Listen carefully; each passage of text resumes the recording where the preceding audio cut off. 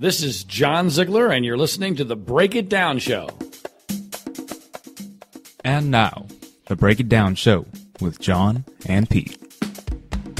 With us this evening, we're at Hill Dog Productions. Hilliard Guest is uh, kind enough to host us while we're in Los Angeles, and we're sitting across the table from radio host turned documentary filmmaker, Turn big ball like you are. Soldier for justice. Yes. Soldier for Justice. I like that. I might have to put that on my business You business don't card. have a cape. but Yeah. You should get one. So, listeners, if you aren't yet familiar with John Ziegler's most recent work, check out framingpaterno.com, where you post. I have to be very careful to say this in a way that, of course, helps us in your quest for justice and for a man who could potentially have been the victim of a less than fair trial, who was put away for the rest of his life. In the, yes. and that's Jerry Sandusky. Yeah. Now, look, none of the three of us here is in the business of letting out somebody who harms children, Of course not. Yeah. Uh, but you're putting out a pretty compelling argument that circumstances added up to Jerry Sandusky not getting a fair shake in his trial. It's more than that, and, and I understand why you're you're phrasing it the way that you are. Because to most people, when they hear this subject, they go, "What? Yeah. Huh?" Yeah. They're closed off. It's only one answer. Right. No one ever told us that Jerry Sandusky might be innocent. The only question was, did Joe Paterno cover it up? Uh, and did Penn State cover it up? That was the only question that anyone ever dealt with. And therein lies the key to this whole case. Yep. That's why, see, when people come at with me, what are you crazy? I said, hold on a second. It's that attitude that you have to be crazy to believe that, which was, which allowed this injustice to happen. Because without that belief at the beginning, none of these dominoes fall the way that they did. Right. And so the first thing you need to understand is that this is not some sort of crazy conspiracy theory. In fact, I'm the non-conspiracy person in this all, in this entire case. I'm the only person who's a non-conspiracy person. Now, I've And- heard you, though, encourage everybody. Go read everything. Yes. Go read everybody's account of everything. That is, I'm so glad you mentioned that. And, and especially since it's right off the bat. Because I truly believe that all you need to know about what really did and did not happen in the so-called Jerry Sandusky Penn State scandal is go read and watch what I refer to as the other side. Read victim number one, Aaron Fisher's book. Watch the interview that the prosecutors did, the only interview they ever did with Armen Keteyian on HBO Sports. Uh, read the work of the woman who won the Pulitzer Prize, Sarah Ganim.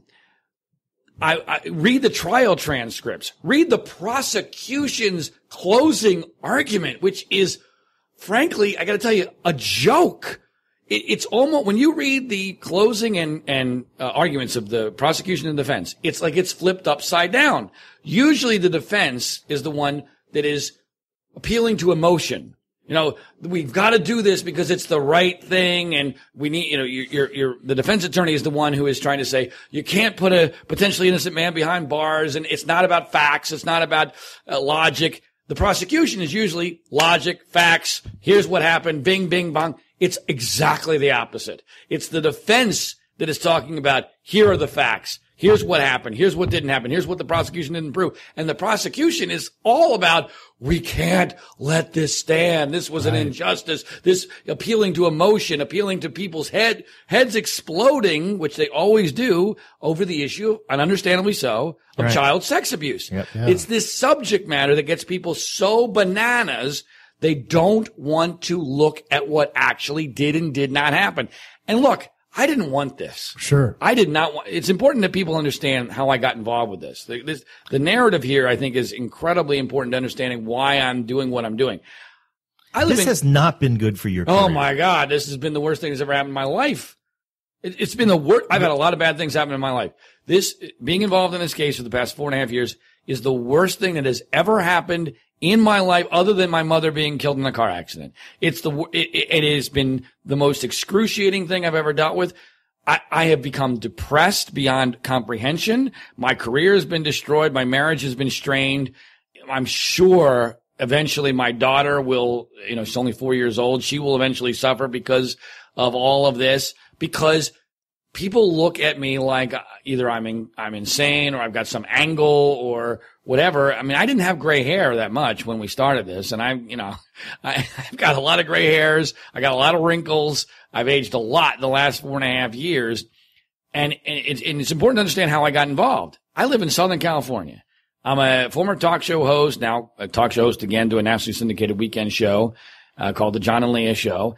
And I've been doing, I've been doing documentary films. I did two major documentary films, one about 9-11, one about the 2008 presidential election. I, I was on the Today Show, uh, you know, uh, even before this case, I was on the Today Show twice involving this case with Matt Lauer, but I had a reputable career as a documentary filmmaker, a very successful film called Media Malpractice about the 2008 election. And when the whole story broke in November 2011, I smelled a rat.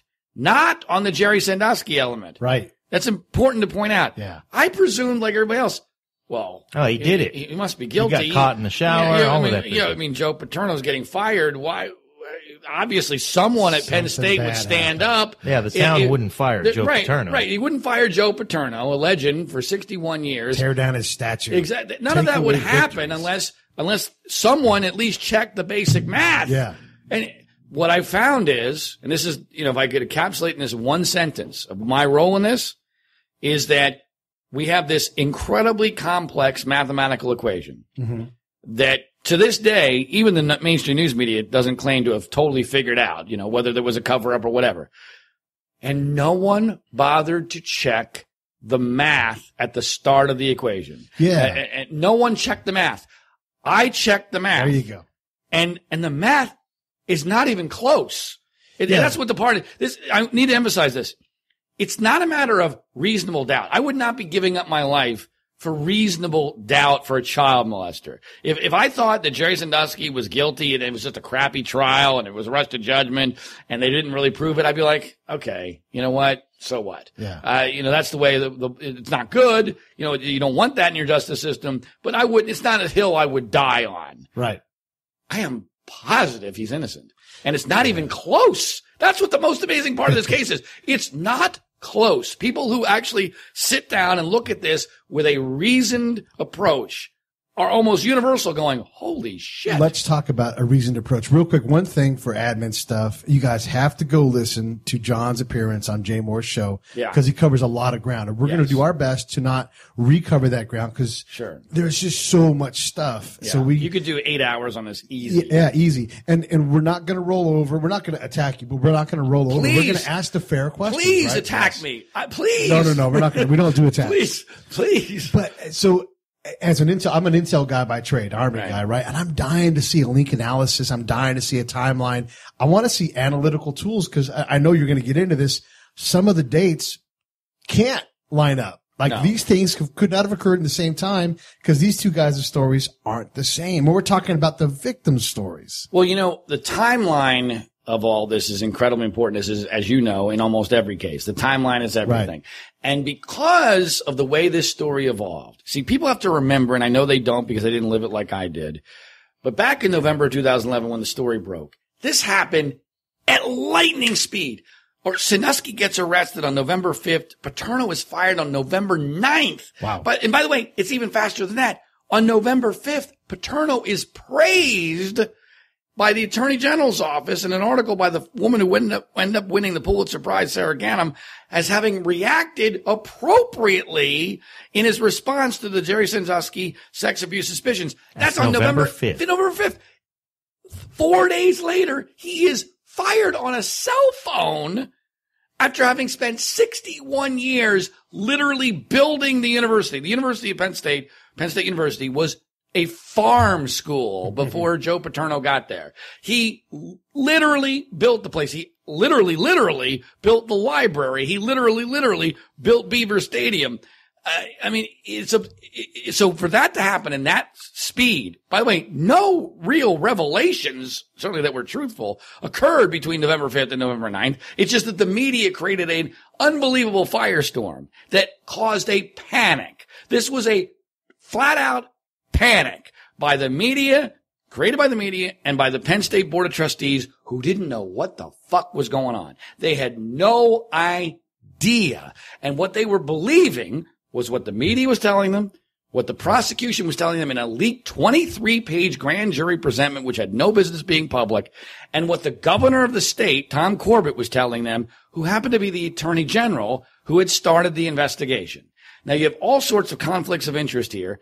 And the media's conflict is the be- is the biggest because let's face it, folks, we no longer live in a world where the media gives a rat's ass about what's true. It's about what the narrative is that will be good for them that day. Right. Let's put some context on this era too, because in 2007, the Duke lacrosse scandal Yeah. breaks out and those guys absolutely raped that girl in their frat house, having a party, but all false. All false, right? So this is just a few years before. Yes. And it's not the And first we time- learned nothing. And we learned nothing, right? You So- would think, Yes. you would think there would have been some hesitation, especially with somebody of the caliber of Joe Paterno, right? Right. Yes. I mean, you would think that that would buy him maybe a day or Right. two days of, well, hey, hold on, let's wait and see what, what happens here. How here. about a guy on trial for his life? Can we make sure that that guy has a fair assessment of what happened? There was no, regardless, even if Jerry Sandusky was guilty, there is zero doubt he got an unfair trial. Let me prove to you, by the way, I can prove to you in, in 30 seconds how unfair his trial was. Uh, again, I believe he's innocent. I did not believe this at the start. I believe this after interviewing him twice in prison and investigating this way more than anyone ever should have been forced to do. But here's the one, if there was one thing about how unfair his trial was, and I didn't get a chance to get into this with Jay Mohr in that two and a half hour podcast. So this is new, new stuff for people who have listened to the Jay Mohr, uh, podcast. In the one of the accuser, victim number eight's case. Wow, okay, Vi- right. vic- victim number eight. Here's Jerry Sandusky got convicted of five major crimes Okay. in a case where there was no accuser. Okay, fine. There's no accuser. You just can't find the person, whatever. No direct witness. Hmm. No date for the event. No contemporaneous report of the event. And wait about, wait for this one Here it comes. the only supposed witness who was a hearsay witness who didn't testify because he allegedly had dementia was interviewed by the prosecution before the trial Yes. and asked three times, three times, who did you see that night? He said, was it, it was asked, was it Jerry Sandusky? He says three times, no, it was not Jerry Sandusky. So Jerry Sandusky is convicted of five, five counts of major crimes Yes. with, where the only witness doesn't testify because of dementia and is on record saying it wasn't him. The hearsay witnesses should never have been allowed because it was clearly hearsay. There was no accuser because frankly the event didn't happen. That's why they didn't find an accuser.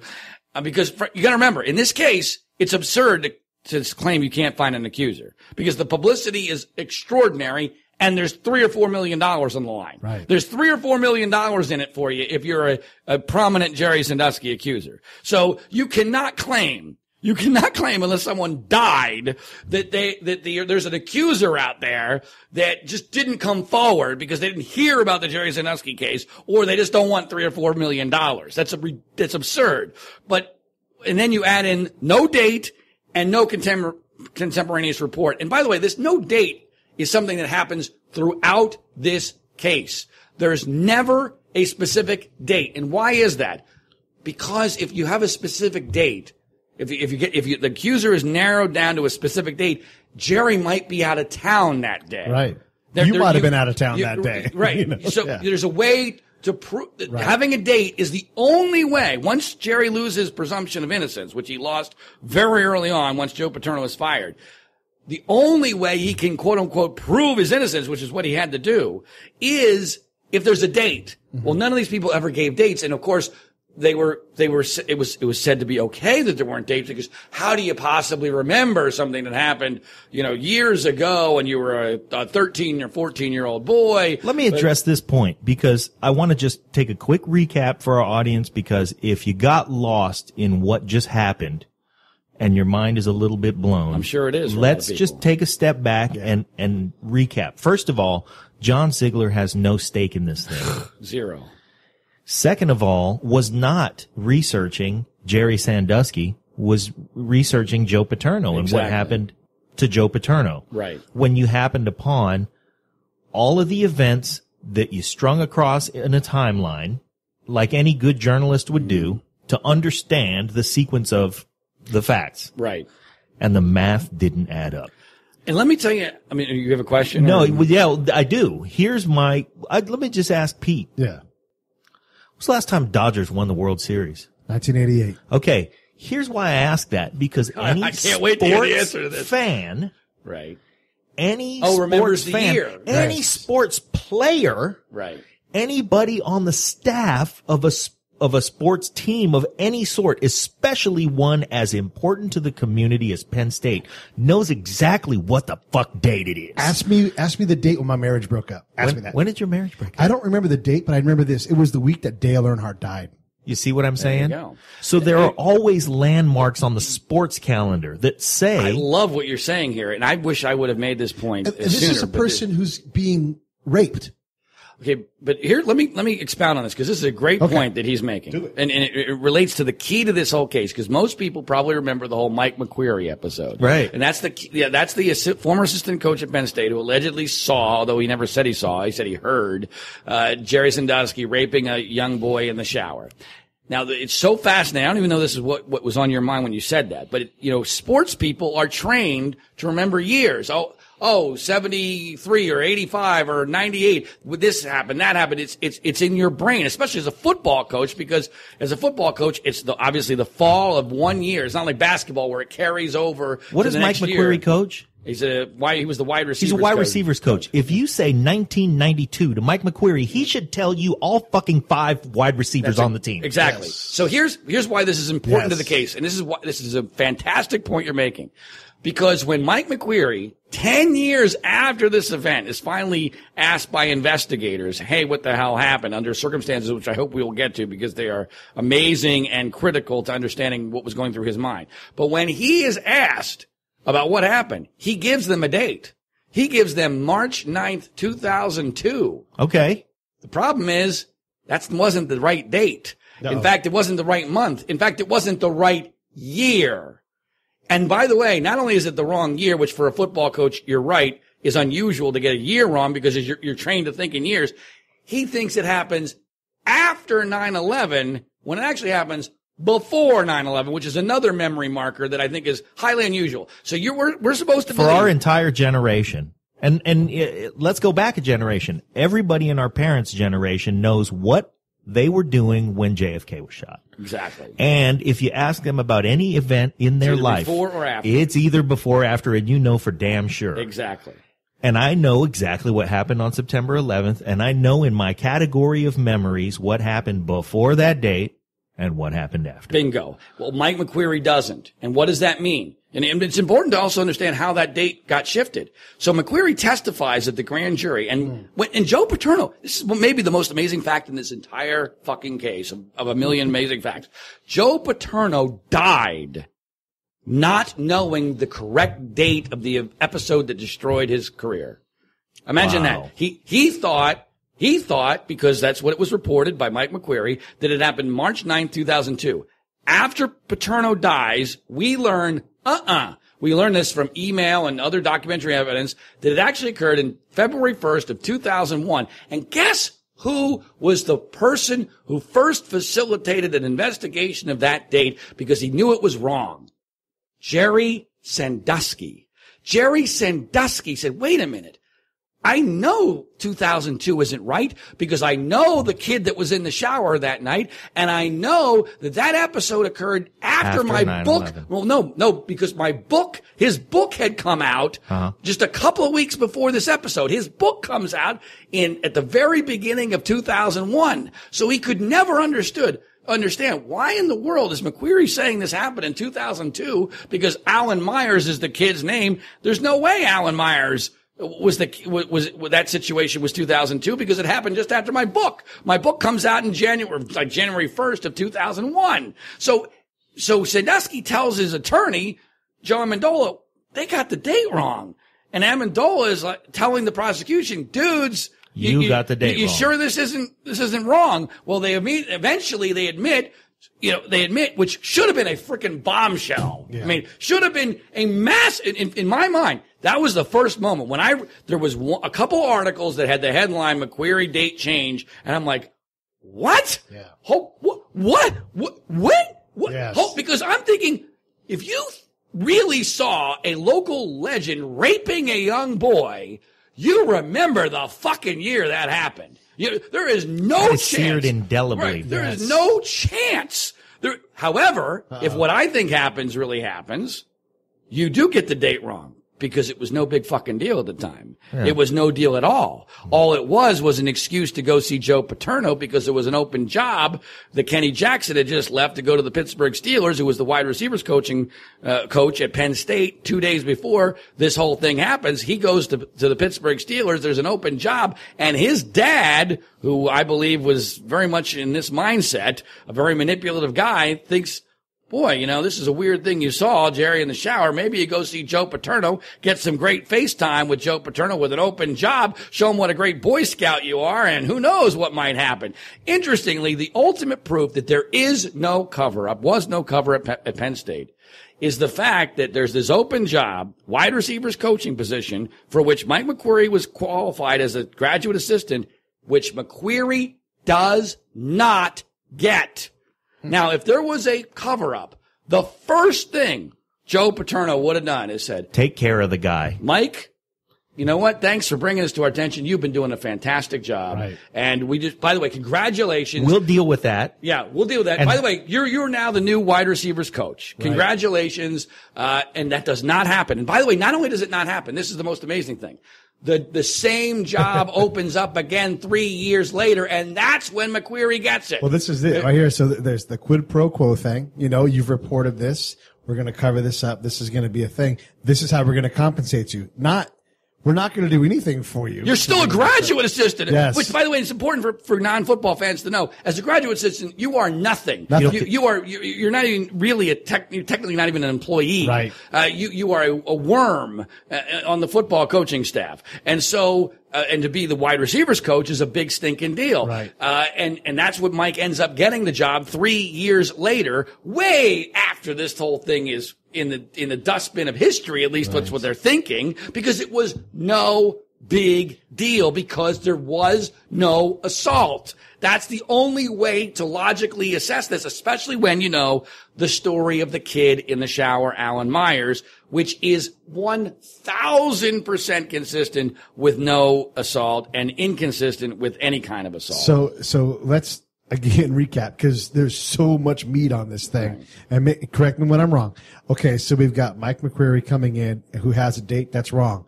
Now, and, and John and I talked about using a reasonable man standard like they try to do in court. People get dates wrong. but- Sure, sure. But that's one little piece. Maybe you get the date wrong, but this is a, a rape that you are witness to either audibly if that or was visually. the only thing, I wouldn't care. Right, right, exactly. But it's, it's, a, it's a part of a larger picture. So here comes what, uh, what's Mike McQueary's size? He's like six three. oh, he's, he's six foot four, 225 So here's where pounds. the He was a Division One football player. Right. And and he's redheaded, by Yeah. the way. So there's no possible way to forget that it's Mike McQueary. All right. Right. If if he made him if he made his presence known, this is important. Maybe the m- most important thing that I learned in my two interviews with Jerry Sandusky in prison for many many hours, and this is might be shocking to people who followed the case.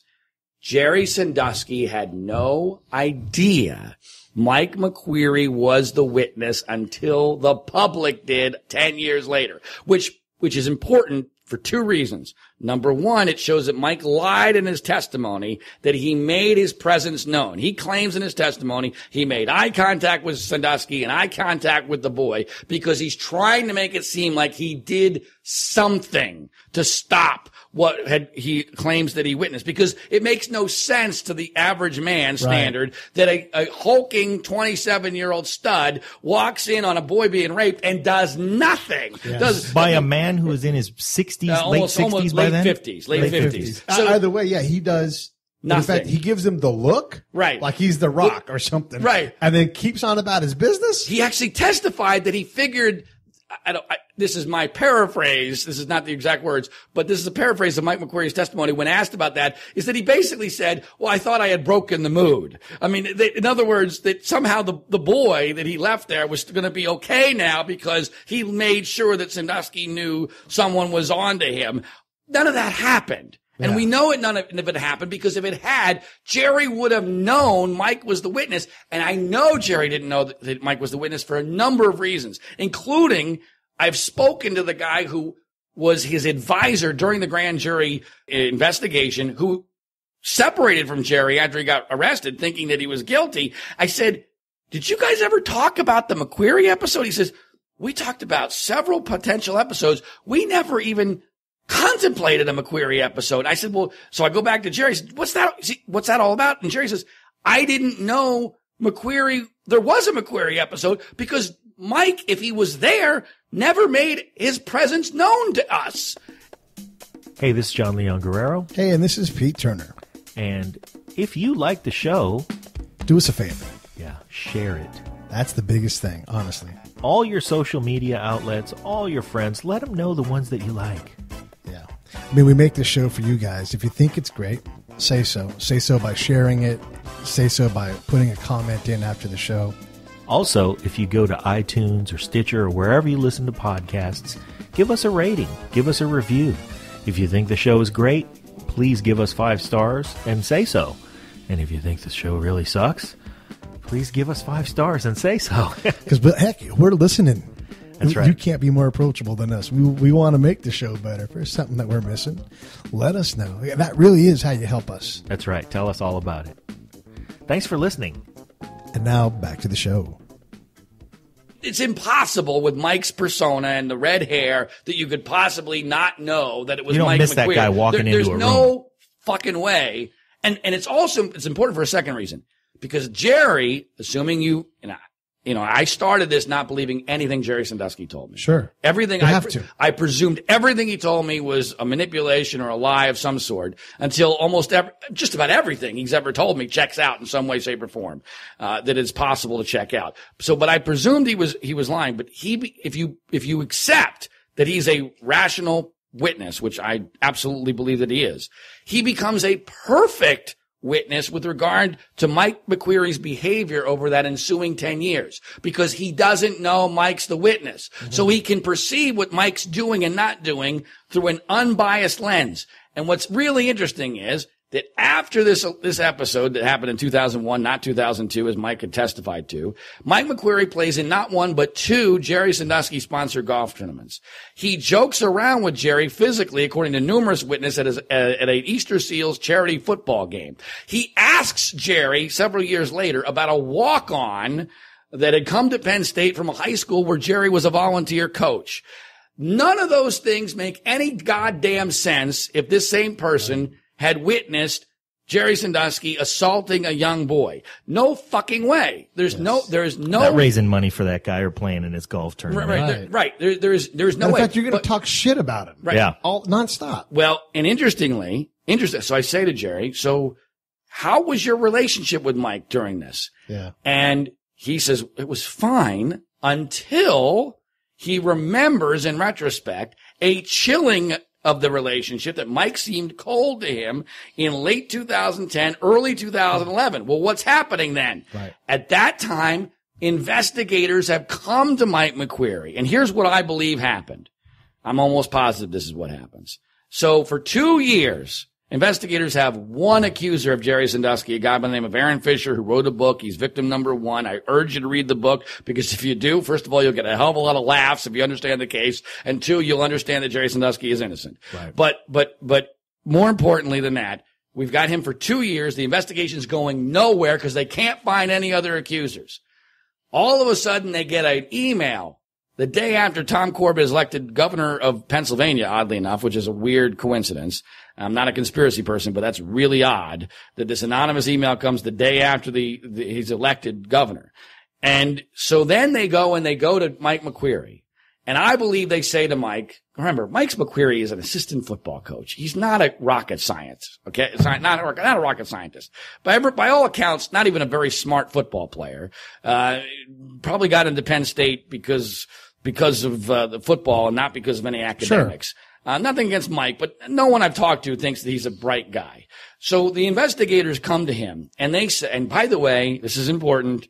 And I've, you go to YouTube, you can check, you can look up uh, Don Van Natta of ESPN and John Ziegler, Mike McQueary. You can w- listen to this audio for yourself.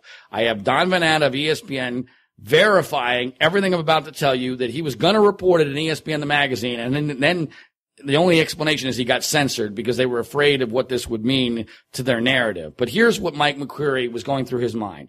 His wife gets a phone call from investigators. She calls him and says, Hey, these investigators want to talk to you. Mike's testimony would later be, I knew they were calling about Jerry. Thank God someone was finally coming to talk to me 10 years later about this event I've been wanting to talk about for all this time. That's not what happened. Right. What really happened is Mike's shitting himself Yeah. because here's why. Mike's married and in April of that year, if not other times during that year, but we know in April of that year, he was sending naked pictures of his penis to a woman, not his wife, through a Penn State phone. He was farving people. yes, he was farving at least one woman. All right. And And if you It- farve one, you farve ten. I agree with that. In fact, I've been sent some of his far photos Nice. to, to other women. I don't have the, the photos that are in question, but, but Don Van Natta, I have him on audio saying that he had the whole story completely nailed. In fact, even talked to people that McQueary immediately called in a panic saying, Oh my God, they must have found out about the photos. Because you have to remember, unlike Favre, if McQueary gets caught, That's it. it's over. It's over. It, is- his career is over. He Right. works for, he's a nobody. He works for Joe freaking Paterno. If this becomes public, his Mm-hmm. Out. career is over. Right. Done. There is no questions asked. So he is shitting himself. So when he eventually, He's also shooting himself too because if this comes around and he had seen what he had seen, he's culpable. Thank you. Yes, He's that's the other. That's the other thing. didn't report. I guarantee it's a great point because I guarantee. So what happens is he he gets. He, he finally has a meeting. By the way, it's three weeks from the time he gets that first call to the time he, in his lawyer's office, he writes out a statement, which is the most dramatic statement he ever gives in the entire case, far more dramatic than anything he ever testifies to mm-hmm. in person. In handwritten in his own lawyer's office, three weeks later, you're exactly right. I believe what they say to him is he's he's first of all thrilled that they're not talking about the photographs of his penis. Sure. They're also telling him what you just said, which is, by the way, Mike, you do know that you probably should have come to us about this, right? Right. I mean, and so now he's thinking he's culpable in some way, which theoretically he could have been. And they're also, and this is key, they're also telling him, I believe, and, it, and there's there's logical evidence to back this up, that they're saying, Mike, we've been investigating Jerry Sandusky for two years. We've got a kid, Aaron Fisher, who says he's been abused many, many times by Jerry. We think he's a pedophile. We got a monster in this town. You seem to have saw something. Can you help us? Mm-hmm. Now, if you're Mike McQueary, right? Under those circumstances where you got some pressure on yourself, you're not real bright, you want to, you want to save yourself, you want to try to help them, you remember seeing something that weirded you out. And I, by the way, have never, ever uh, begrudged Mike McQueary feeling weird about Sure. walking in on Jerry Sandusky with a boy in a shower. That's weird, although not as weird as it seems now, which I'd be happy to explain. But I get that that was weird. So Mike McQueary turning Especially some, if you need something weird. well, You know, he needs something to say. You- you know? well, I think he was weirded out because otherwise he doesn't call his dad and and and, and his dad's friend, a doctor by the name of Dr. Dranov, who importantly testifies that he asked Mike that night three times, "Did you see a sex act?" And Mike Yeah. says no, three times, three times. Then that's his that's his dad's friend um, from the night of the event. So, but but I'm not I'm not begrudging him that he saw something weird, but turning something weird into what the prosecution wants. But when they say to him, "Sure, you didn't," certainly sounds like you may have seen a sex act. Oh, yeah, uh, Oh yeah, that's what I saw. Because yeah, because if I'm trying to sounds get like. a, if I'm trying to build a case, I, I need a sex act. right. Well, you they, they And if they- I'm trying to distract people from pictures of my penis, Yeah, Well, I'm going to give you a sex yeah. act. Yeah. Well, you- ex- exactly. I've always felt like Mike's like, sure, what do you need? I mean, you know, Mike in his, his mentality at that point is, what do you need? And, you know, this certainly is plausible. It could have been a sex act. It kind of sounded like one, even though I didn't see anything. People need to understand. Go back and read Mike McQueary's testimony. People think that he testified that he walked in and saw Jerry Sandusky with an erect penis raping, Raping a a boy. child. That- It's not even in the stratosphere of what he says. He says he heard slapping sounds and then through a mirror in a steamy shower, not even directly seeing, he sees a reflection for two or three seconds. This is his own testimony. Two or three seconds, he sees Sandusky and a boy and he's not sure what they're doing. Now, Jerry and the boy independently both say that they were playing some sort of, of what they call Polish, uh, hockey, which I don't even know what the hell that is, but some sort of weird shower game. Jerry is a weird guy. All right. I don't even like Jerry Sandusky. Okay. Um, he is a, a, a bit of a doofus. Uh, he's a very naive person.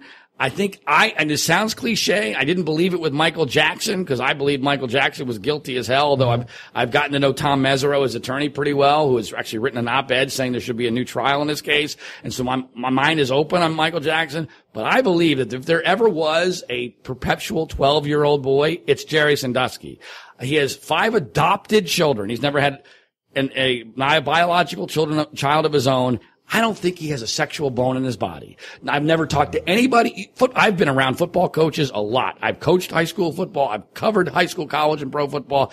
Co- football coaches are sexual beings as much as any man, any men I know. We're talking And- about an activity that involves a guy with a lot of testosterone. Right, exactly. speaking. Right. And I've never met anybody, anybody. I've spoken to, if not more than dozens, probably hundreds of people who knew Jerry Sandusky. No one has ever said Jerry has ever even made a sexual joke, a sexual innuendo, anything remotely sexual. And they all describe him exactly the same way. 12 year old boy. He's a goofball who's a 12 year old boy who just, and, and this is why, I mean, his, his whole life was devoted to trying to help kids. I know it sounds weird. It sounds suspicious, but it also sounds far more suspicious than it should because these events occur. This is really important. These events occur, the ones that he gets accused of, occur before we know about the Catholic Church scandal, but they come out after. Sure. And Wow. that's critical. That is critical. That's critical Absolutely. because because after the Catholic Church scandal, everyone's mindset is Perceptions are all different. exactly. You know, this this goes right back to the Mike McQueary thing, Mm-hmm. where you you need something to have happened, and and we've got Jerry Sandusky's weird. Maybe Right. he's he's on the autism scale. Who knows? But I agree with that. He's weird, right? And now when you look back in retrospect, you're like, well, maybe there was, was something. I can believe that Mike McQueary is like, oh shit. You know, just Right. like we were with the Catholic Church, like, oh shit. exactly. All these things, and then I don't think Mike McQueary knowingly lied. Sure, okay. I think Mike McQueary was manipulated and by investigators who, by the way, I don't think that they created a what they thought was a fake case. Mm-hmm. I think the Catholic Church scandal, which was huge in Pennsylvania, that's Sure. another that's another element of this. Huge story in Pennsylvania, uh, probably more so any other place than Boston. Right. Philadelphia, uh, and in Pennsylvania, the Catholic Church scandal was massive. So in the prosecutor's mind, they're going, we got another Catholic Yeah, we church. can't let this go. Right, right. In their mindset, and by the way, one of the key detectives, guy by the name of Anthony Sassano, who came into the case under highly suspicious circumstances, which I'd love to get into because it's a fascinating element of this case that no one knows about, um, that I discovered, is i he had no expertise in child sex abuse. He was a narcotics agent. And so he, he's thinking, and I'm guessing, Seems like the Catholic Church to me. You know, we got Joe Paterno as the Pope, and we got Sandusky as the Cardinal, and the Penn State is the Catholic Church, and everyone's acting like football is God.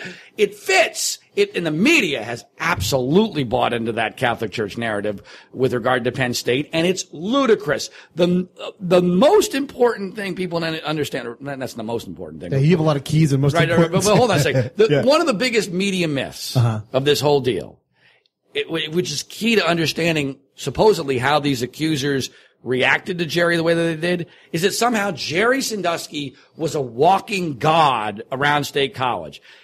Utter bullcrap.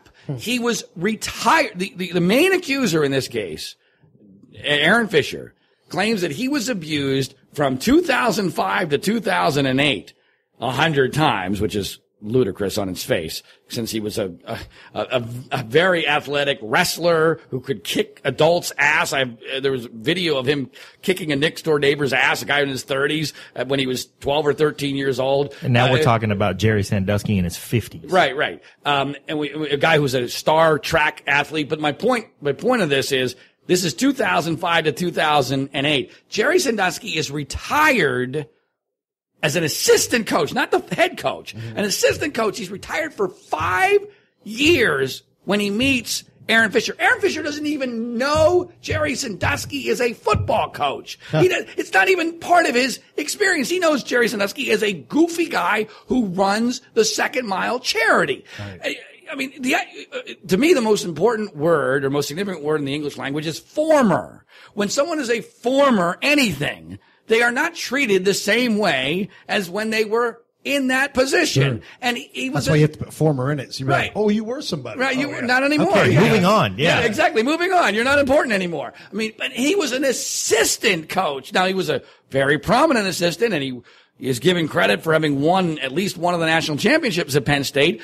But he was no god by any stretch of the imagination. So can I want to ask a couple of reasonable man questions? Please. Why is Jerry Sandusky in the shower with a young boy it's a great question. with no one else around to validate? Well- his- in the situations where I've had to counsel or have somebody below me, especially if they're of a, a female gender, I'm always have the door open. of course. I always yeah, have gender somebody else doesn't there. even matter. Right. You understand what's appropriate and Sure. like, hey, there's only two of us another here. set of Let's eyes. just right. for everybody's benefit. Yep. Yes. Yeah.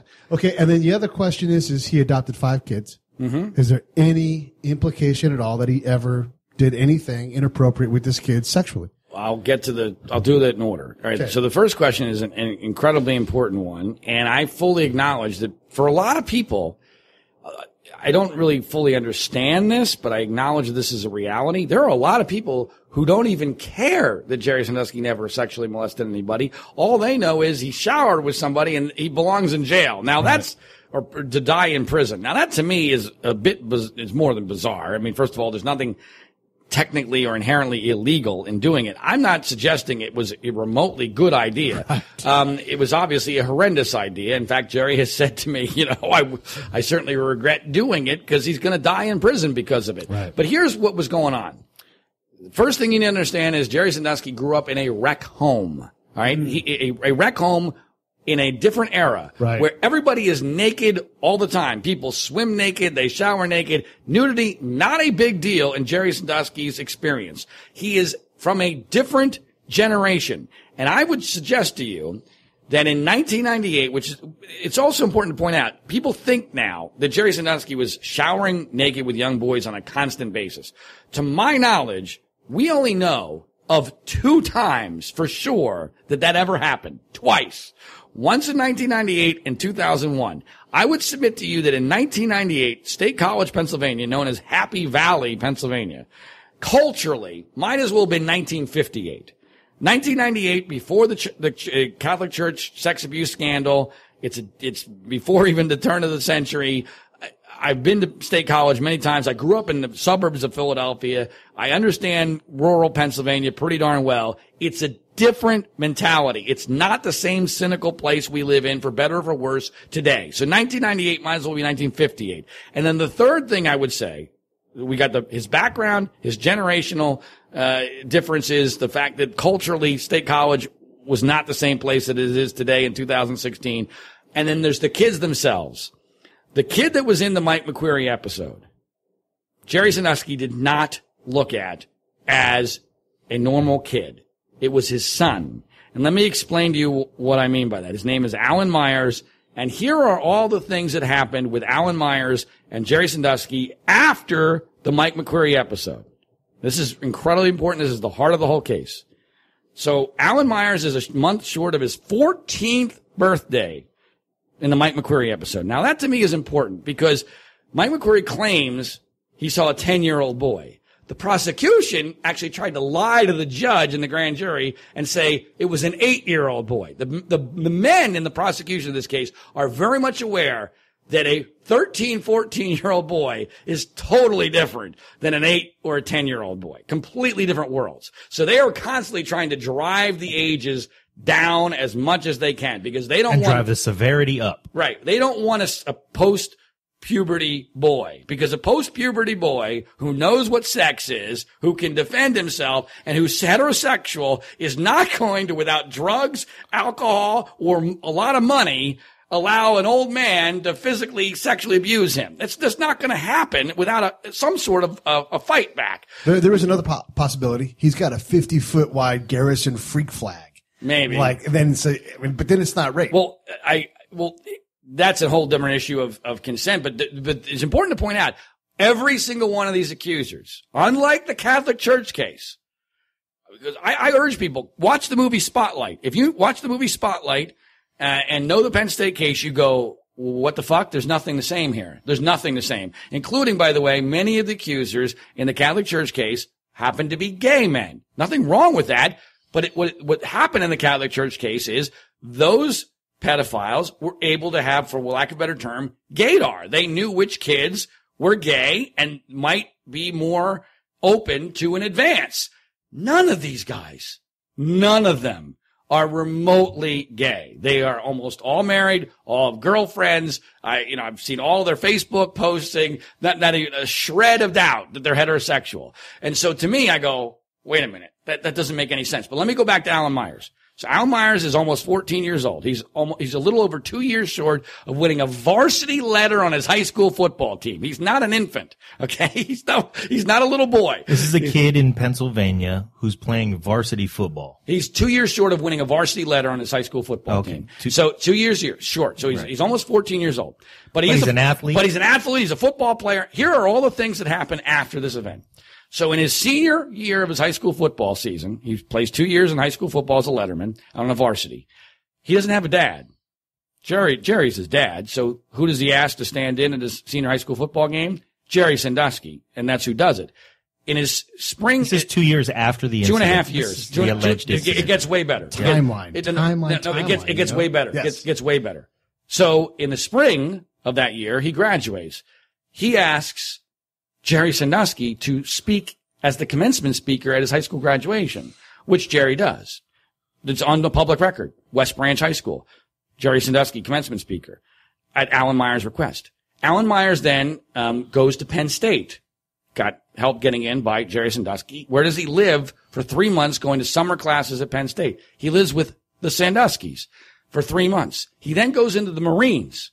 Okay, now the, the Marines thing is important because we're not dealing with a wallflower here. All right, we're not dealing with a guy who's timid and afraid and oh my God, I'm I, I got to do with everything what everything Jerry tells me to do because you know Jerry's my God and and he's been abusing me, but I'm just going to keep going back to my abuser. No, he's he's a he ends up being a sergeant in the Marine Corps who um, when Jerry his mother dies while Alan Myers is stationed in uh, North Carolina and Alan Myers drives 10 and a half hours each way to attend the funeral for Jerry's mother. Not for Jerry, not for Jerry's wife, for Jerry's mother, who he didn't even know that much. We're talking about what is effectively a family member. It, it gets, yeah, exactly right. And it gets even more amazing. So then Alan Myers gets married. And Alan Myers, who does he invite to his wedding? He invites Jerry and Dottie Sandusky to his wedding. And then at that wedding, Jerry Sandusky and Alan Myers take a photograph together where Alan is in full Marine garb, arm in arm. That photo, that photo is used as the photograph in the retirement letter that Jerry puts out to the public when he retires from the second mile charity in 2010, a year before the shit hits the fan. And by the way, there's only one person in the history of the second mile, which had been going on since 1977, that Jerry Sandusky even references in that resignation letter. It's Alan Myers. He spends an entire paragraph talking about Alan Myers. Now, think about this. Forget about Alan Myers' section of this story, which makes no flippin' sense for him to be an abuse victim, right? But if Jerry Sandusky is guilty of this, these crimes, he has to be a criminal mastermind of epic proportions. and this criminal mastermind decides to spotlight not just one of his victims, but his primary victim in the Mike McQueary episode in a public letter by name and photo?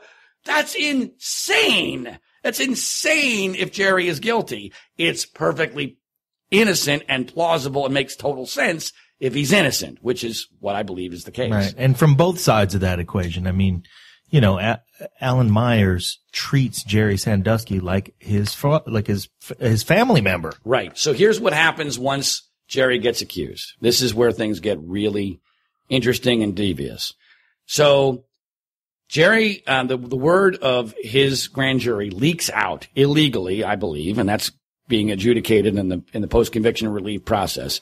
But it gets leaked out by the woman who would end up winning the Pulitzer Prize, I believe illegitimately, Sarah Ganim, in March of 2011. I believe that that article revealing the grand jury investigation was basically a Craigslist ad by the prosecution looking for new victims because they had a crappy case, even though they had Mike McQueary at that time. So here's what happens. At that moment, Jerry and his supporters start to try to have a counterattack. So they had, they have some of his biggest supporters, people who've gone to the second mile charity, write letters to the editor in his defense.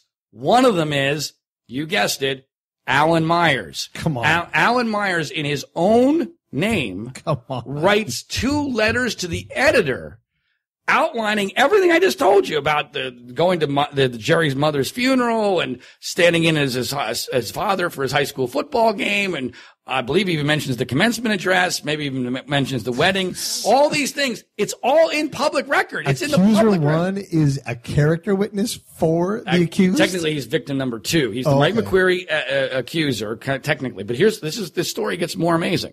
So he writes these letters Mm-hmm. in the in the in the paper. I have them. I've put them publicly at framingpaterno.com. I can actually show it to you on my phone uh, during a break. And so he he then gets interviewed by investigators in September of November of uh, September of 2011, which is two months before November when the story becomes nationally known and the shit hits the fan and Joe Paterno gets fired. And he ends that interview, according to his own words, he ends that interview with investigators saying, I think you're trying to get me to lie about Jerry Sandusky. I will never say anything bad about Jerry Sandusky. So that's how that interview ends. So that's in September. It gets even more amazing. So Jerry gets arrested November 9, 2011. The shit hits the fan. Everyone's going bananas. On November 7th, it becomes publicly known that Mike McQueary was the witness in that infamous episode. It be, it's, it's reported everywhere, everywhere on that Monday. Clearly, Alan Myers finds out about this episode and goes, wait a minute. I'm the guy who was there. Right. That's not what happened at all. So on November 8th, he goes into Joe Amendola's office, the office of the uh, defense attorney for Jerry Sandusky. And this to me is an amazing little tidbit of, of, of factoids. Shows you how incompetent Jerry's defense team was and, and how overwhelmed they were. So Alan comes into the office with his mother ready to give a statement that blows apart the entire prosecution case. And Joe says, come back tomorrow. I don't have anyone here to take your statement. So Alan goes home. He come- What? Right, I know. Alan comes back the next day on November 9, 2011, again with his mother. This time, there is an investigator, a, uh, a- a former you know, police officer, FBI trained investigator, who takes Alan's statement. You can find it at framingpaterno.com. I have the whole statement. It's extraordinary. It's incredibly detailed. It has things in there only the McQueary kid could possibly know, including the door slam and the fact that uh, Jerry had told Alan that Penn State might call him, but never did a couple of weeks after this ep- episode occurs. And he says, I don't know what the hell Mike McQueary is talking about. I'm that kid. And there was nothing that happened. And so- Wait. So let's just Yeah. be clear. the kid in the Mike McQueary episode, who Mike McQueary said saw in a mirror, Yes. steamy or whatever, Right. in some inappropriate situation, Exactly. Right. is standing up and saying, listen, I am a Marine sergeant. Exactly. And I am telling you with the definitiveness of a grown ass man who has known this person, Jerry Sandusky, for decades. I love this guy. I was Right. there. It was me. Nothing inappropriate happened. Bingo. But here's what happens. That night, this is November 9th. That's an incredibly important day. So he's literally within miles of where Joe Paterno later that night is fired, along with the president of Penn State University, Graham Spanier. once Paterno and Spanier get fired, the world has changed. There's a massive earthquake. And the next morning, there's a headline in Business Insider, Penn State on the hook for a hundred million dollars for Sandusky accusers. There's, there were riots that night at, at state, on state college's camp, on the Penn State campus. The, everything about the world has changed. And here's the short story of what happens with Alan Myers. So Joe Amendola thinks we got this thing nailed. We got the kid. We, we, we McQueary's done. It's over. Stupidly, in retrospect, Joe Amendola does not call a press conference immediately, which is what he should have done. No kidding. Uh, Immediately, you call a press conference and you say, Listen, world, "Yeah, here's but here's the kid. but Joe's thinking like a defense attorney. He's thinking, all right, I want to hold this for strategic purposes. Uh, we're going to, you know, pounce this on them at a preliminary hearing or whatever. And, and, you know, that's when, that's the right way to do this. He's not thinking about this from a PR standpoint, which he should have been.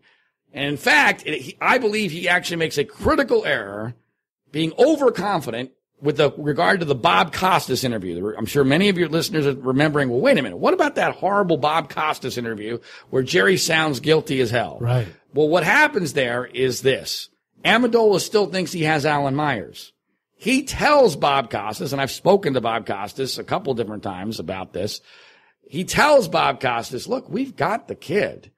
And I guarantee, because I've been in situations like this, Costas's eyes are probably lighting up like, holy crap, really? Yeah. And Joe is thinking, all right, I've, Joe, Bob gets it. Bob gets it. Maybe this is worth a shot. So without any preparation at all, he says to Bob, because he wants to show Bob, I'm not afraid. I got nothing to be afraid of. You want to talk to Jerry? Well, Bob being a journalist goes, shit, Yes. yeah, I'll talk to Jerry. Right. So Joe calls up Jerry and says, Hey, I'm going to put you on the phone with Bob Costas. Okay. Mm-hmm. Jerry being Jerry, who, you know, if his lawyer tells him to do something, he's going to do it. Goes, sure. Okay, fine. Amendola thought it was going to be for two or three minutes. Hmm. Costas is a smart guy knowing I get Jerry Sandusky on the phone. I'm not leaving. I'm not stopping until he hangs up. Yes, Right. right. Right. So Costas, whether you want to call it a misunderstanding or whatever, there was a misperception of what that interview was going to be. Sandusky was completely unprepared and Joe Amendola was overconfident because they think they have Alan Myers. So J- Jerry gets asked the infamous question, are you sexually attracted to young boys? Now, to the outside world, I can totally understand why people go, why is he hesitating when he, when he answers, am I sexually attracted to young boys? Well, I, I like spending time with young boys. I, I enjoy their company, but, but no, no, I, I'm not sexually attracted to young boys. That's almost exactly what he says. And I, when I watched it, I'm like, oh my God, that was terrible. But I have to tell you, that was the first moment I thought, is it possible this guy's innocent? Because I didn't, I didn't come to the conclusion, but I thought that's really odd because what we're being told to believe here is this guy was a pedophile for 40 years in high profile positions and couldn't answer the question, are you sexually attracted to young boys? If you're You a would think that would be a rehearsed Right. answer. If you if you're a pedophile, if you're a real pedophile, you have that one nailed, and you respond, "No, no, not at all." As a matter of fact, oh, no, oh no, I mean, there's no question what the answer is. But then, but here's the the other part of this equation. So I interviewed Jerry Sandusky twice in prison for a total of about six hours, uh, most of it on tape, and it, what's very clear, you can hear it for yourself. This is the way Jerry Sandusky talks. You can ask him anything. And if he has, and if he hasn't thought it through, he's going to go, hmm, um, do I like the color green? Um, yeah, that color green's pretty good. Uh, yeah, I do like the color green. That's the way he talks. It drives his wife crazy. So, um, I, un- I understand why people think that that was the smoking gun moment, Sure. but when in fact it was actually totally understandable when you understand the full context, but no one's going to take the time to, to understand the full context. I get that. But then, but here's what happens with Alan Myers. So the Al, Alan Myers causes a overconfidence, I believe, in Joe Amendola, which causes the Bob Costas interview. But then Amendola gets some bad news. Mm-hmm. He gets told by a local state college attorney named Andrew Shubin, who's a key figure in all this, Hey, Joe, I just want you to know I'm representing oh, Alan Myers. And Joe at first thinks, Okay, fine. Alan needs representation. This is going to be a shitstorm. Yeah. Uh, you know, it's, that's fine. And Andrew Shubin, according to Joe, says, no, Joe, you, you don't understand. Alan Myers is a victim in this case. And Joe's like, what the fuck? Yeah. What the f- there's no way. There is just no way. And so What just happened? Exactly. What just happened, which is here's what happened. As fate would have it, Alan Myers had gotten two DUIs in the previous year.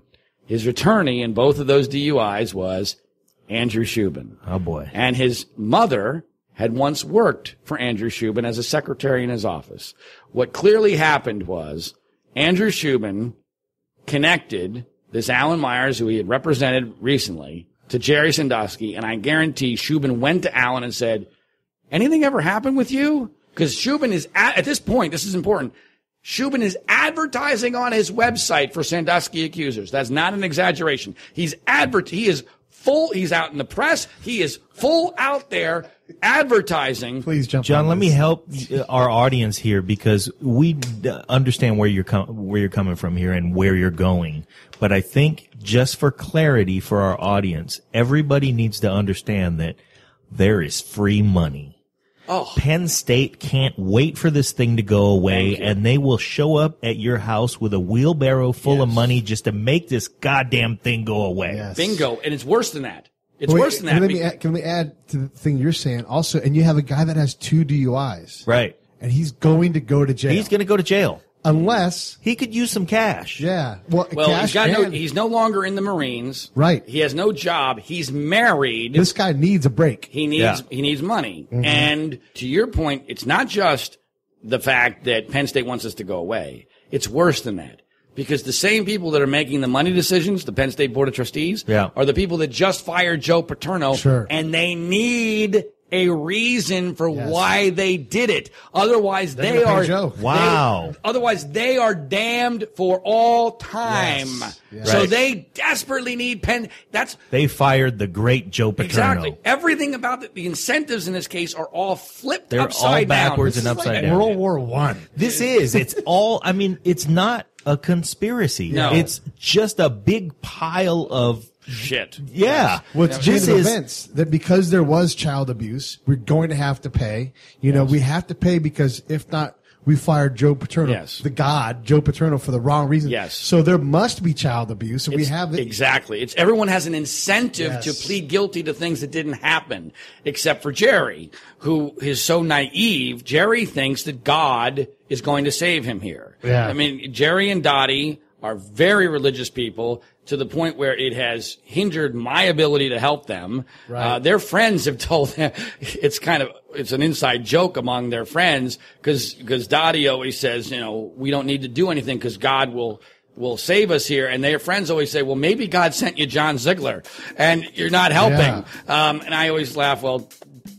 God wouldn't send an asshole like me That's Uh, true, you know, too. you know so he probably would have found somebody better than than me to do this That was part one of our episode with John Ziegler.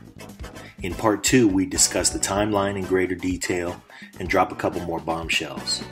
We hope you're enjoying this compelling content. Come back for part two in a couple of days, or subscribe to us in iTunes or Stitcher, and you'll get the episode automatically in your podcast app. Thanks for listening.